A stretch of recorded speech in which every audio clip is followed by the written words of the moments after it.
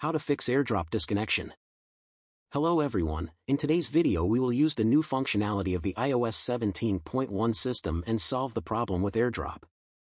If you are here, you probably have a problem with the AirDrop connection dropping when the phones are not at the required minimum distance. We can now solve this by turning on the option to continue the AirDrop transfer via the cellular network. First, we'll open Settings. In the Settings, we need to find the General section. The option we need in the General section is AirDrop. In this window we can notice a new option.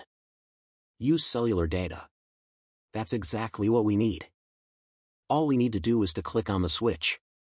AirDrop will now also use the cellular network for transmission, that's all for this video.